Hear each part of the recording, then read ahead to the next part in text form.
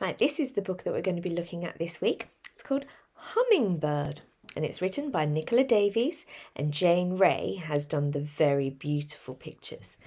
So it's all about hummingbird. We don't have hummingbirds in the UK, but they have them in America, in the United States, and they fly all the way from North America, Canada, Alaska, all the way down to South America. So it's a very long way. We're going to learn a little bit about their journey today in this picture book. Okay, so hummingbird. Hmm. Granny is in her garden with her granddaughter. Keep still, she whispers to the little girl, and they'll come. The child holds her breath, and they do come.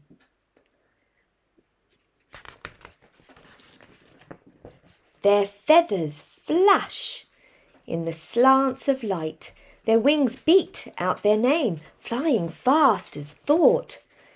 Tsannen, tsannen. Tsannen is the name for hummingbirds in several countries in South America. I can't quite get the book in the right place, can I? They'll soon be gone, Granny says, flying north like you. The little girl looks sad, so Granny kisses her and says, Maybe they'll visit you in New York City. You see all the beautiful hummingbirds. There's so many different types of hummingbirds. There's, and we're looking, we're watching, we're following these ones in this book with the little red neck. Later, on the plane, the girl wonders how something lighter than a penny could fly so far. Down on the dark sea, a sailor has company at last. A hummingbird is sleeping in the rigging. At dawn it wakes and flies away, tiny and fearless, heading for the land.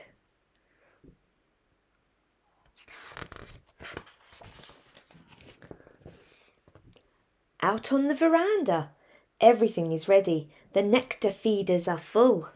Tiny flies buzzing in the bug dispenser. Just after dawn, the hungry guests arrive for breakfast. The sisters laugh as they remember how their daddy used to say, Hummingbirds need meat and potatoes, same as we do. So they like to eat bugs and the nectar for their energy.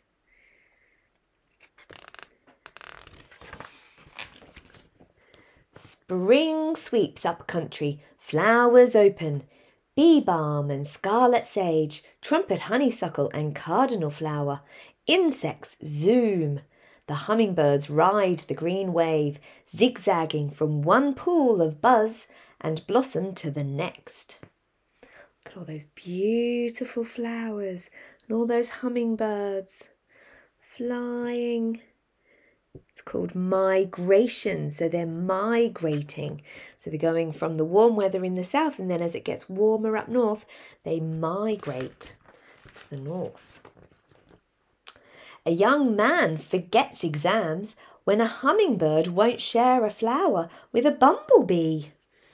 He laughs aloud and texts his mother a photo of the little bird, too angry for its size there it is. Oh, I'm doing it the wrong way. Oh, I can't quite get this camera right, can I? There we go. No, this way. there it is. Can you see? Fighting off the, the bumblebee. The TV's bust. The pizza needs defrosting.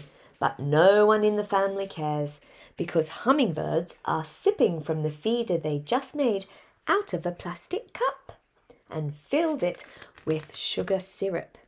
If you remember, we, we fed our moths the same sort of stuff, a sugar syrup, which is like the same as a, a nectar, it replicates a nectar. Hummingbirds know exactly where they're going, and when they get there, they set up home. The male chases other hummingbirds away, so that the flowers feed just his family. The female makes a nest with lichen, spider silk, and thistledown it holds her two eggs tight, but stretches as the babies grow and grow and grow. Got to remember, hummingbirds are tiny. They weigh the same as a penny coin. So they're tiny, and their eggs are as big as a jelly bean. So they're very, very tiny birds.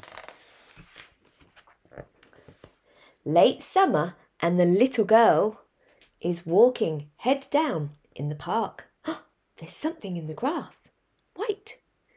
Too small to cap her e- even her littlest finger. There's only one thing it could be. What do you think it is? It's white.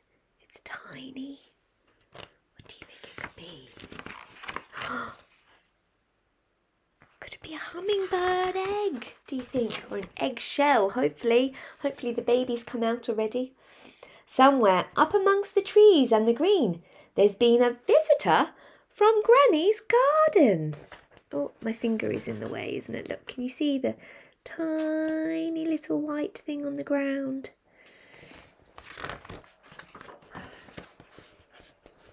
Days are drawing in. Soon the bugs and nectar will be nipped by frost.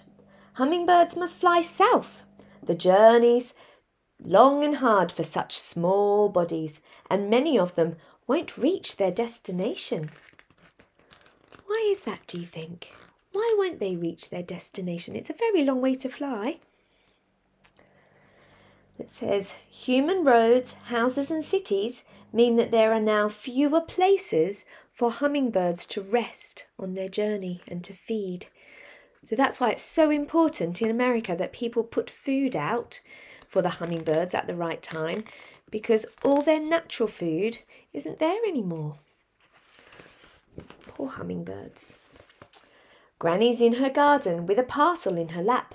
Inside's a tiny eggshell wrapped in cotton. Cotton wool, a letter, and a cutting from a newspaper. As she reads how hummingbirds have nested for the first time in Central Park, there's a telltale sound around the flowers. Who's back? T's-un, t's-un, a flash of jewel feathers in the light. There she is, so it's made its way back home. That's a lovely story. I do love hummingbirds. They're so interesting. If you haven't already, have a look at the two video clips that I've put the links on for you and have a have a look at all the interesting facts about hummingbirds. All right? See you later.